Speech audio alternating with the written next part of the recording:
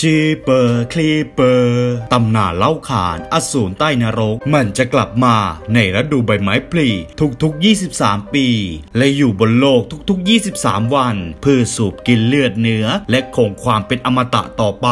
สวัสดีครับทุกท่าน ยินดีต้อนรับเข้าสู่ช่อง FB Movie วันนี้เรามาพบกับการสปอยหนังกันอีกเช่นเคย กับหนังที่มีชื่อเรื่องว่า อสูรใต้โลกภาคที่ 1 หากทุกคนพร้อมแล้วอย่าลืมกดไลค์ Subscribe เป็นกำลังใจกับพวกเราด้วย และไปติดตามพวกเราทุกช่องทาง ทั้งแฟนเพจ Facebook และ Instagram ไม่รอช้า เรามาเปิดเรื่องกันที่เดรี่และทริชสองพี่น้องที่กำลังนั่งรถเดินทางกลับบ้านในยามปิดเทอม ระหว่างเดินทาง ทั้งสองก็จิกกัดกันตามภาษาพี่น้อง เดรี่แซวพี่ว่าหน้าแปลก เทอมนี้พี่ยอมกลับบ้าน ไม่อยากไปเที่ยวกับแฟนหนุ่มเหมือนเช่นเคยหรือไง ทั้งสองถึงจะจิกกัดกันปากร้ายไปนิดแต่ก็รักกัน การเดินทางมาช่างเบื่อหน่าย ขับรถมาเป็นชั่วโมงชั่วโมงก็ไม่มีอะไรทำระหว่างนั้นเอง ก็มีรถคันหนึ่งขับสวนผ่านมาทำให้เดรีนึกสนุกไหนๆก็มีคนมาทักทาย กล้าดียังไงมาแซงกู ไหนดูซิรถแกจะเร็วและแรงแค่ไหน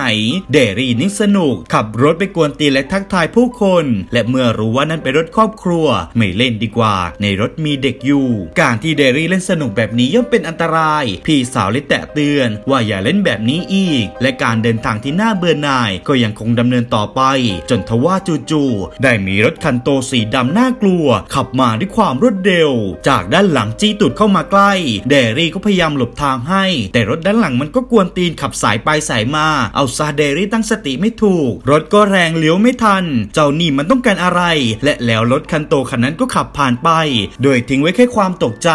เดรี่ก็พูดจาหยอกพี่สาว ว่าสภาพรถแบบนั้น ขับรถกวนตีนอีก คงจะเป็นฆาตกร หรือไม่ก็ไอเลวคนใดคนหนึ่งที่ทำเรื่องชั่วมาซึ่งทำให้ทริสนึกขึ้นได้ ว่าบนถนนเส้นนี้เมื่อ 20 ปีก่อน คู่รักงานพร้อม ประจำโรงเรียนได้เกิดอุบัติเหตุและตายบนถนนเส้นนี้ และหัวของพวกเขาขาดทั้งสองคน มันเป็นเรื่องเล่าที่คนในโรงเรียนเข้าลือกัน ขับรถต่อไปได้ไม่ไกล ทั้งสองก็ได้ขับผ่านโบสถ์ที่รกร้าง ข้างทาง และที่ข้างโบสถ์ก็มีรถคันโตคันนั้นจอดอยู่ พร้อมกับคนขับที่กำลังคนบางสิ่งออกมาจากรถหย่อนลงไปในท่อ วัตถุที่ว่ามันเป็นผ้าขาวและแปกเปื้อนไปด้วยเลือด และดูเหมือนว่าคนที่ทำกำลังจ้องมองมาที่พวกเขา เมื่อผู้ชายคนนั้นรู้ว่าโดนจับจ้อง เขาก็รีบขับรถตามมาด้วยความรวดเร็ว และในครั้งนี้มันไม่ใช่แค่การกวนตีน เนื่องจากมันได้พุ่งเข้าชนรถของเดรี่อย่างจังซ้ำแล้วซ้ำเล่า จนเดรี่ไม่รู้จะทำเยี่ยงไร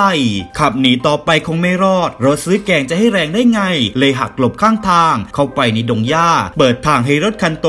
ขับผ่านไป พวกเขาได้มาเช็คสภาพรถ รถยังสามารถไปต่อได้ แต่มันก็คาราคาซัง พวกเขาอยากรู้จัง ว่าที่โบสถ์นั้นมีอะไร เดรี่คิดว่าถ้าในห่อผ้านั้นเป็นคนล่ะ และเขาต้องการความช่วยเหลือ เราต้องรีบไปดูนะ ทริสเองก็บอกว่าไม่ นายไม่ใช่คนดีมากขนาดนั้น ถึงแม้พี่สาวจะไต่ห้าม แต่เขาทนความดื้อของเดรี่ไม่ได้ สุดท้ายก็ต้องไปดู ในท่อที่ไม่มีแสงสว่าง เดรี่ตะโกนถามว่ามีใครอยู่ในนั้นไหม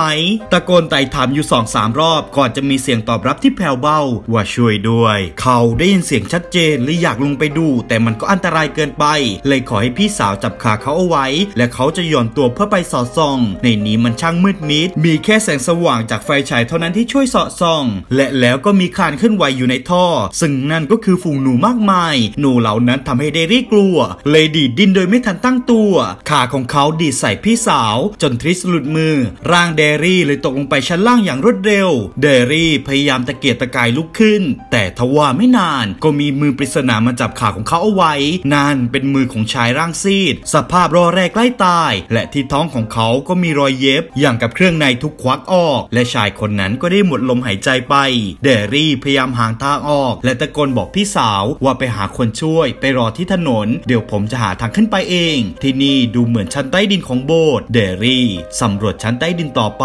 แล้วจู่ๆก็มีน้ำนอง หยดลงมาจากด้านบน เมื่อเขาแงนมองบนฝาผนังสิ่งที่เห็นมันน่าสะเอดสะเอ็ดอย่างมาก เนื่องจากนั่นคือร่างคนที่ถูกตัดแปะเย็บติดกัน ร้อยเรียงเต็มไปหมด แถมในนี้มันยังมีโต๊ะและเครื่องมือมากมาย อย่างกับว่า นี่คือห้องทดลองของซาตาน และสิ่งที่ทำให้เดรี่ต้องชะงักอีกครั้ง นั่นคือคู่รักที่คอถูกตัดออก แต่ในครั้งนี้มันถูกเย็บติดกัน แล้วที่มือของผู้ชาย มันก็มีแหวนรุ่นประจำโรงเรียนของเขาอยู่ทำให้เขานึกถึงสิ่งที่พี่สาวได้พูดว่ามีคู่รักงานพรอมที่เกิดอุบัติเหตุหัวขาด แหวนนี้มันต้องตาต้องใจ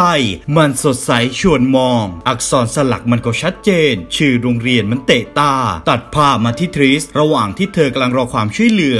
จู่ๆก็มีรถคันหนึ่งขับผ่านมา ซึ่งมันก็คลับคล้ายคลับคลากับรถมหาภัย เธอเลยรีบขึ้นไปบนรถพยายามสตาร์ทเครื่อง แต่เครื่องก็สตาร์ทไม่ติด จนทว่ารถคันนั้นเข้ามาใกล้ จิตใจของเธอสั่นไหวและเต้นรัว โชคดีที่มันไม่ใช่รถคันโตที่เธอกำลังหลบหนี เธอจิตอ่อนและขวัญผวา และแล้วเสียงตุ๊บก็ได้ดังเดรี่ปรากฏที่ข้างรถ เดรี่รีบขึ้นมา ในสภาพที่เหม่อลอย จิตใจไม่อยู่กับเนื้อกับตัว พี่สาวก็ซักถามว่าเกิดอะไรขึ้น นี่นายเป็นอะไรหรือเปล่า และเดรี่ก็เล่าในสิ่งที่เขาเห็น มันน่ากลัว มันชวนสะอิดสะเอียน จนเขาอยากลืมมันไปซะ และแล้วรถของพวกเขาก็ได้เข้าเมือง จนมาถึงร้านอาหารแห่งหนึ่ง ทันทีที่พวกเขาลงจากรถ รถคันโตที่ว่าก็ขับสวนผ่านไป มันกำลังดิ่งตรงไปที่โบสถ์พวกเขาไม่รอรีบเข้าไปในร้าน และตะโกนบอกแค่เชียร์ว่าเรียกตำรวจมาที่พวกเราเจอเหตุร้าย ทั้งสองได้แต่ตั้งสติ พี่สาวก็กล่อมน้องชาย ว่าอย่ากลัวไปเลย ไม่นานตำรวจก็จะมาแล้ว ทันใดนั้นเองเสียงโทรศัพท์ร้านก็ได้ดัง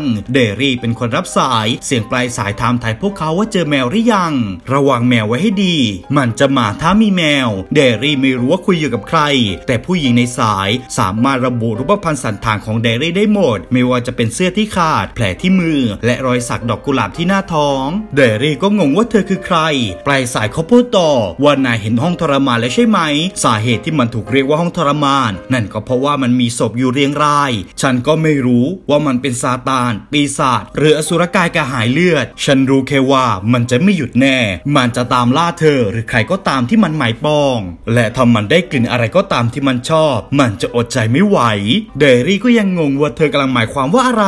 และปลายสายก็ให้เดรี่ฟังเพลง Jeeper Creeper ทันทีที่ได้ยินเสียงนี้เธอต้องหนี หนีให้สุดชีวิต ไม่ว่าเพลงนี้จะถูกเปิดจากที่ใด จงรู้เอาไว้ว่ามันกำลังมา และแล้วผู้หญิงคนนั้นก็ได้วางสายไป ปล่อยให้เดรี่ต้องงง วันนี้คือการเตือน กวนตีน หรือหลอกให้กลัวกันแน่ และแล้วไม่นานตำรวจท้องที่ก็ได้มาถึง เดรี่รีบเล่าให้ฟังในสิ่งที่เขาเห็น ซึ่งตำรวจก็ไม่อาจเชื่อได้ เนื่องจากคดีของเคนนี่และคาร่าคู่รักงานผมที่ประสบอุบัติเหตุตาย มันเกิดเมื่อ 20 ปีที่แล้ว ไม่มีทางที่สภาพศพยังมีเนื้อหนังถ้านายไปเจอจริงคงเหลือแค่เท่ากระดูกเท่านั้น ซึ่งเดรี่ก็ยืนกราน ว่าสิ่งที่เขาเห็นนั้นคือเรื่องจริง จังหวะนั้นเอง พนักงานก็บอกว่ามีใครบางคนมายุ่งกับรถของพวกเธอ เดรี่รีบไปดู สภาพรถเละเทะข้าวของกระจัดกระจาย คนที่พบเห็นบอกว่ามีชายคนหนึ่งมาเปิดประตูรถของพวกเธอ คุ้ยเสื้อผ้าและดอมดม ดอมดมเหมือนกับโรคจิต ที่ชอบสูบดมกลิ่นกายของผู้คน เด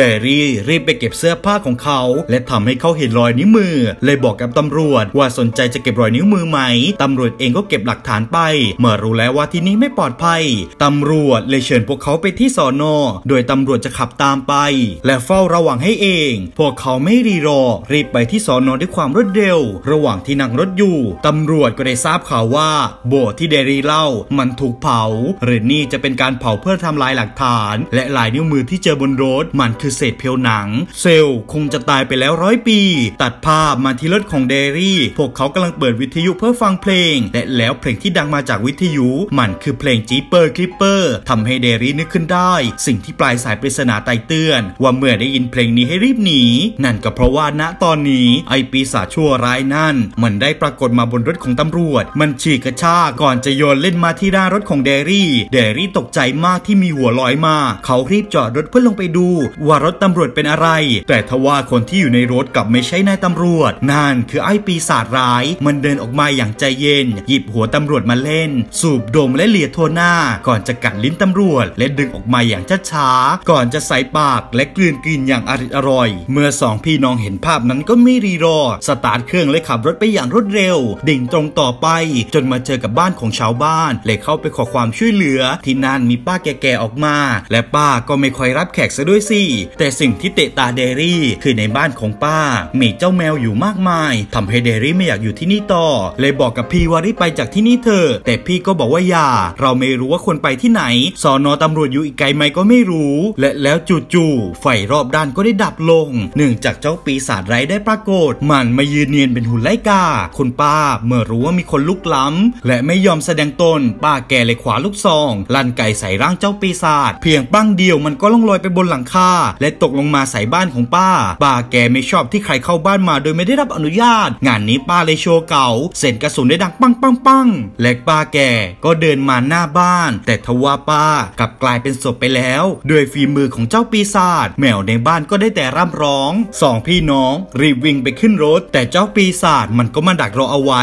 งานนี้จะหนีคงไม่รอดต้องพุ่งเข้าชนอย่างเดียว ทริชเหยียบคันเร่งเพื่อไปชนมัน แต่มันก็โชว์ skill โดดหลบหลีก เป็นอยู่แบบนั้นอยู่2อสารอบ จนทริชเกิดไอเดียทำท่าทีว่ารถเสียรอให้มันเดินเข้าใกล้เมื่อสบโอกาสค่อยไปชนมันอย่างจัง จนมันนอนแน่นิ่งอยู่บนถนน เท่านั้นยังไม่สะใจ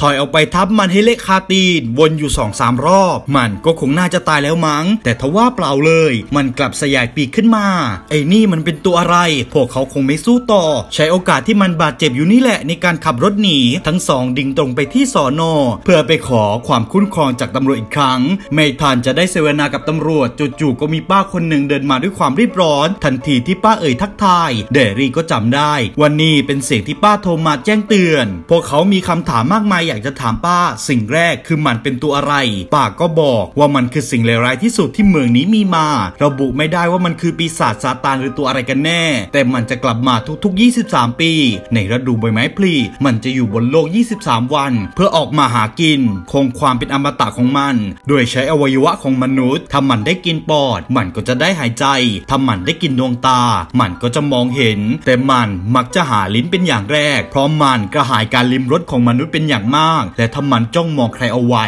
มันจะไม่ยอมปล่อย จนกว่ามันจะได้ในสิ่งที่มันต้องการ และดูเหมือนว่าตอนนี้มันกำลังหมายปองพวกเธออยู่ ที่ป้าแกรู้ เนื่องจากป้าเห็นในความฝัน ป้าเองก็ไม่อยากฝันเช่นนี้ แต่ไม่รู้ว่าฝันมันแจ้งเตือนเธอได้อย่างไร เธอไม่ใช่แม่มดหรือร่างทรง แต่สิ่งที่เธอเห็นมันคือความจริง เดรี่คงพิสูจน์ได้ เนื่องจากเจอมากับตัว และแล้วไม่ทันไรป้าแกก็แสดงสีหน้าที่หวาดกลัว และไฟที่สอนอก็ได้ดับมืดลง ตำรวจรีบไปตรวจสอบห้องขัง ตามระเบียบดูซิว่าคนร้ายยังอยู่ปลอดภัยดีไหม จนได้เจอกับกรงกรงหนึ่งที่ถูกแหกออก และในนั้นได้มีตัวประหลาดร่างโตกำลังกลืนกินร่างมนุษย์ ตำรวจไม่รีรอ รีบประจันหน้ากับมัน แต่มันช่างแข็งแกร่งเหลือเกิน ลูกกระสุนทำอะไรมันไม่ได้ ตำรวจระดมกำลังจู่โจมมันเข้าไป โดยที่หารู้ไม่ ไม่ต่างอะไรกับเอาชีวิตไปตาย ก่อนหน้านี้ร่างกายของมันถูกทำลายไปหลายส่วน และการดื่มเลือดเนื้อของมนุษย์ ก็ทำให้ร่างกายของมันฟื้นฟูตำรวจค่อยๆตายไปทีละรายทีละรายเดรี่ทริสและคุณป้าพยายามหาทางหนี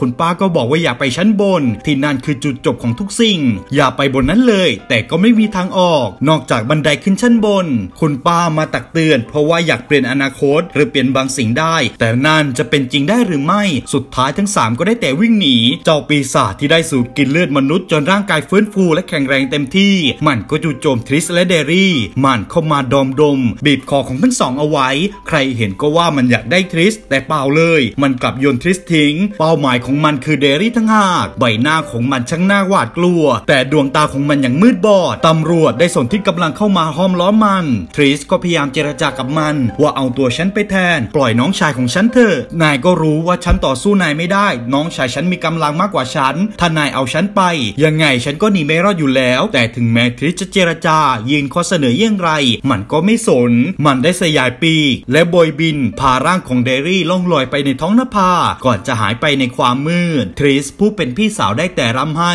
ไม่รู้ว่าจะช่วยเหลือน้องสายเยี่ยงไร จนพ่อและแม่ของเธอมา และตัดภาพมาที่โรงงานร้างแห่งหนึ่ง ที่นี่มีเสียงเพลงกำลังบรรเลง พร้อมกับเจ้าสัปหลาดร่างโต ที่กำลังทำบางสิ่งกับอุปกรณ์ของเขา และภาพที่เห็นคือสภาพของเดรี่ที่ไร้ซึ่งดวงตาเนื่องจากดวงตาของเขาได้ไปอยู่บนร่างกายของปีศาจแล้ว และแล้วหนังเรื่องนี้ก็ได้จบลง ซึ่งหนังเรื่องนี้ก็ได้รับคะแนนจาก IMDB อยู่ที่ 6.2 เต็ม 10 คะแนน เช่นเคย หากทุกคนชอบอย่าลืมกดไลค์ Subscribe เป็นกำลังใจให้กับพวกเราด้วย และเจอกันใหม่คลิปหน้า สวัสดีครับ บ๊ายบาย